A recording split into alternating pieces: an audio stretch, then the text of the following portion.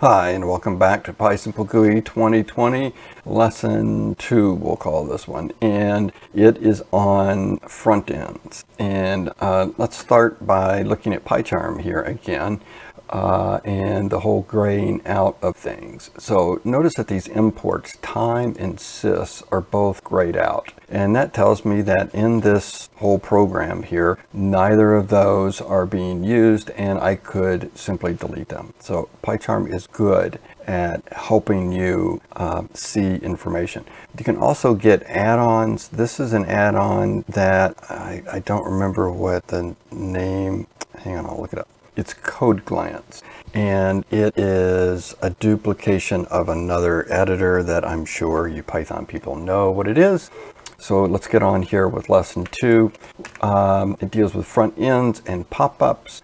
Uh, here's another PyCharm thing at work. You see this uh, light tan, zoom right on in here, this light tan thing. This tells me that there are parameters missing. And in this case, I know that it's a message. So you could like, please enter something uh, and it goes away.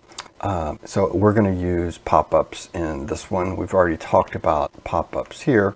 Uh, what I want to talk about are front ends to programs. And one thing that GUIs allow you to do is co-op other people's programs and make them something that everybody can use. There are a lot of command line programs out there that do some really cool things, but your buddy down the hall or your friend isn't a, a Python person and they uh, are not super fond of using one of these command prompts and typing Python something and may not have Python installed on their system. Uh, not everybody's a command line freak, um, but it's an opportunity for you to do something very simple, which is to add a GUI front end on onto it and you end up with a whole new thing in a way. So let's take a look at what would be a, a typical-ish command line program. You have, um, this program is going to list the files in a folder, real simple. So um, how many times have you seen this? Path equals some hard-coded path with a comment that says, uh, if you want to do this on a different folder, change this variable. Well, that's great if you're a Python programmer, and it's actually not all that great because now you got to change the guy's source code in order for it to work on your system.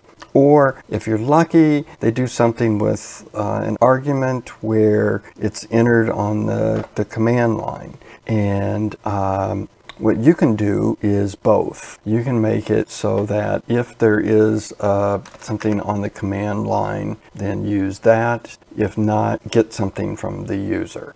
So to check that, you would say if the, the length of arg, uh, sorry, sys dot uh, argv is equal to one, that, that means that it's just the, the name of the program. That's what will, will, that will end up being for argv sub zero. So if it's just one, you know they haven't entered a, uh, a path of some sort. So you want to get a path from them. And so what you can do is say my path is, we're going to use a pop-up. In this case, it's a pop-up get folder please enter folder, right?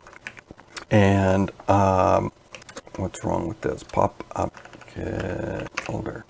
Uh, and so we will get it if they entered something valid, then it will be a, a truthy thing. If not, then uh, once you pop up like an, an error, pop up error, you didn't, did not enter anything okay, and we'll exit.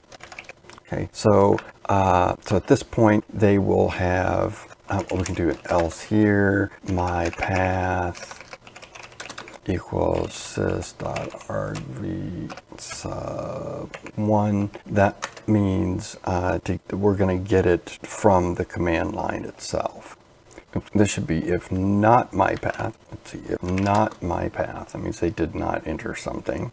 Okay, so let's use PyCharm's terminal down here to, to run it. Uh, I know it's Python, it's YouTube, whatever.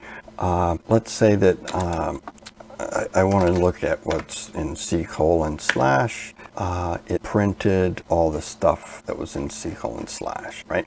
Uh, if I ran it and I didn't enter anything, then I get this pop-up. Now I can enter C colon slash right here, or since it's a, a, a get folder, then uh, it will browse, allow me to pick a folder and get the contents of it. Um, so I don't know, we'll just do watches. There should be fine. Uh, it will fill this in, and then it prints out uh, a bunch of JPEGs of watches in this case. The um, so that, that, that gives um, the user an option of entering it from the command line if that's what they're into, or you can uh, do a pop-up and get the folder. Uh, let's say that though that in instead of working with the, the command line to launch this thing, they're going to double click the icon and not see any console at all. That means this print now won't go anywhere useful. So let's make it do a pop-up and there's a couple of interesting ones. One is a scrolled pop-up and what that will do is um, you'll see let, us just run it here we'll enter c colon slash and it does a pop-up with a, a scrolled output and this will allow you to copy and paste from it it's it's it's a really handy kind of pop-up to use. Um, a, another thing you could do is a print with a capital P, uh, and I'm going to have to do a pop-up afterwards. Um, because it will close the program. What print does is print to the debug output. So let's run this again.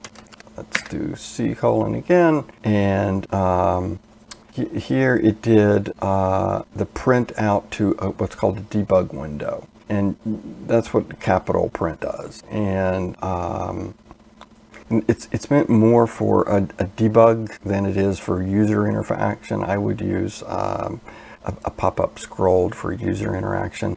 Um, and one little bit of code here that I had added that we did not try is this pop-up error. So let's say they ran the program, there's uh, enter a folder um, and um, they didn't enter a folder and by hitting either cancel or the X, let's do cancel and it does a pop-up error and all, all pop-up error is is just a normal pop-up but it puts a red error button instead of an OK button.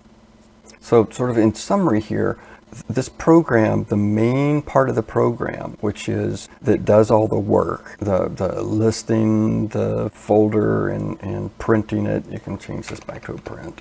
The, that part of the, the stuff didn't change. The only thing that we changed was instead of using a hard-coded path, we added just a little bit of code here to get the information from the user in a GUI-like format and then continued on.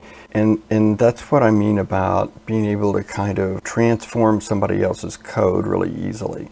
You've added a GUI, but it required very little effort. It required just a couple of lines of code. Uh, and you can, can continue to use the rest of their code just, just like it is. And it opens the audience up from uh, command line people to ordinary people, so to speak. Uh, you can turn it into an exe and give it away to anybody once you add this kind of GUI to it. Okay, so that's the end of lesson two. Thanks for watching.